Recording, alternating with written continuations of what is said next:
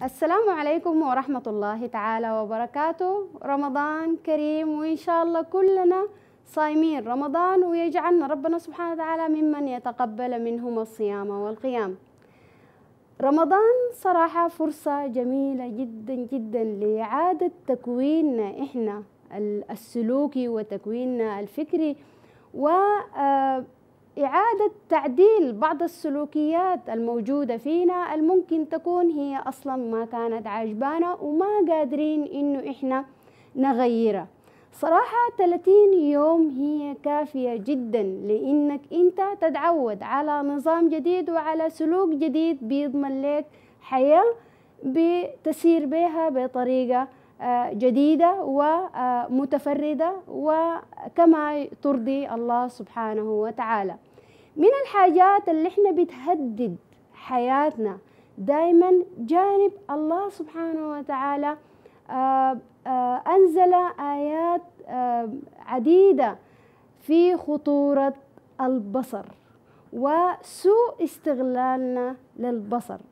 بالتأكيد إنه من الحاجات الجميلة اللي إحنا آه بنحاول إننا نحافظ على سلامتها هي البصر. ما البصر من ناحية ما بنتكلم عن البصر من ناحية آه فيزيولوجية ولكن بنتكلم عن البصر من ناحية كيف نوظفه زي ما ربنا سبحانه وتعالى أراد. ربنا سبحانه وتعالى نهانا عن إننا ننظر آه لبعض الأمور. طيب إذا كنت أنت من الناس الفضوليين اللي دايما وأنت ماشي في كل مكان بتسترق النظر لبعض الأمور الممكن هي تكون خصما عليك. رمضان صراحة بيهذب آه نفسنا بيهذب آه نفسنا من الداخل وبيهذب سلوكياتنا من الخارج.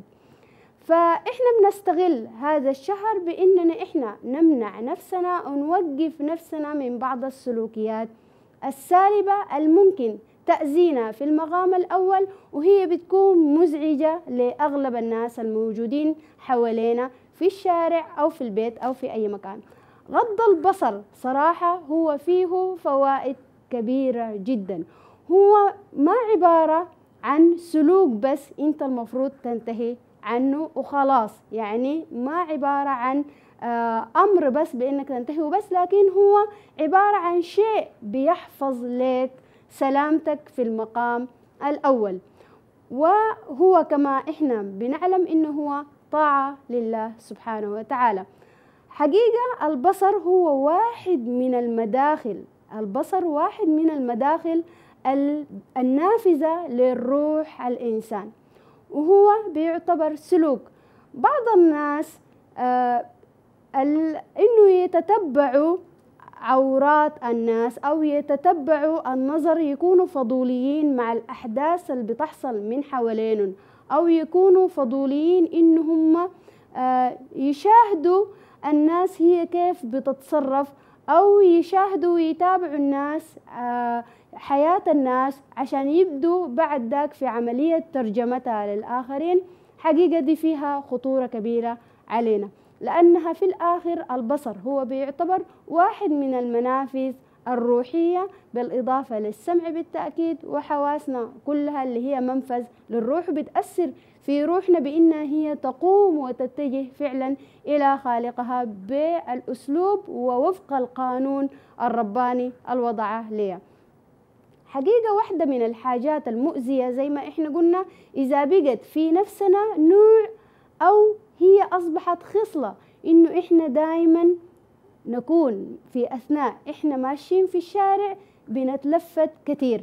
بنتلفت كثير لشنو بالضبط؟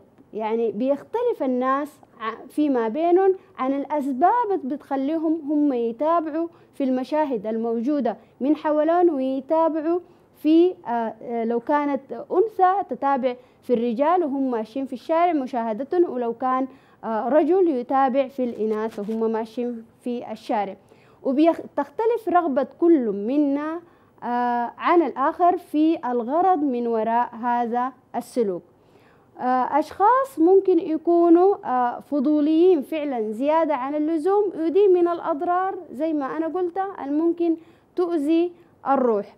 وبالتالي إحنا بنكون غير قادرين على اننا نحفظ سلامتها شهر رمضان هو فرصة حقيقية لأنه إحنا نغير بعض السلوكيات الموجودة. داخلنا بالأخص لما تكون السلوكيات هي وضحها الإسلام بإننا إحنا ننتهي عنها. رمضان كريم. في الآخر وإن شاء الله كلنا نصوم آه، آه، بالشكل اللي يرضي الله سبحانه وتعالى ويكون مقبول للجميع بإذن الله.